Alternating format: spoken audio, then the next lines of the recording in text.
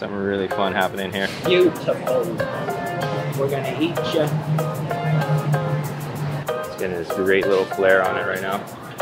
Can I stand on this side? You want this side? We're gonna shoot a video with my boy Philip. We can start on a wide of the two of us, and then I'm gonna have you punch into Philip after. Foodland and Philip have been collabing for over a year now on some of the food things that he does for YouTube and for social. And we're doing a little story here of him as he make tacos for this AAPI month. Ready? I'm gonna have you walk right through and go. I do need a basket. Basket? I have any pretty ones?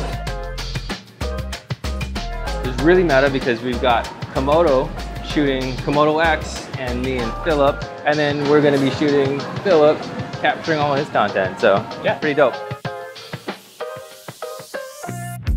All right, so we need avocado, Greek yogurt, tomato, lettuce, cheese, taco seasoning, and hamburger meat. I think I already got taco shells. So we're getting some ingredients just to build the story of this connection between a foodie and the food and talking about how that all comes together in a video. So pretty stoked. We'll keep on going. You're making all kinds of content mm-hmm. and you're working with brands. What's going through your head when you're here looking for some of these ingredients? So when I'm thinking of recipes, when I come to the grocery store, the main things I'm looking for is something simple to make that can highlight local ingredients and Foodland's local brand. Their my Kai brand. Okay, sweet. And today we've got we got the new Komodo X that we're testing out, 6K Super 35 sensor, and we get to walk around with Philip, who also knows cameras. We're gonna check out his setup when we get back to his studio. Oh, I'm glad I bought the shells yesterday because they only had they only had a few left, and I was like, oh, let me just get them. So we got all of our groceries. I think now we just check out, and then we'll head over to my place, and I'll show you my setup. There we go. Let's go. Let's go.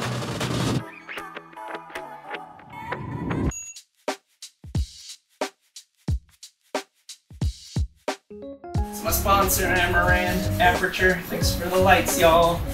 They keep the lights on with their lights. Ultimately, people connect with people. And being relatable is what you're looking for in content these days. It's funny, like you you need to make videos to realize whether you want to do it or not, right? I started making cooking videos and it's not what I want to do. I want to teach people how to make cooking videos. But I didn't know that until I started making cooking videos. Some shredded lettuce. You wanted to drive a Bentley. Now it's like, I want to be a YouTuber and I want to travel. And you find out all the influencers don't even want to do that anymore. Exactly. And then you find out how much work it is and you're like, dude, this is the worst job in the, in the world. no, then you realize it's hard work and that's why not everyone's doing it. What's burning my finger? Ah! Meat foul. You just got to figure out what it is that you're genuinely passionate about, something you would do for free.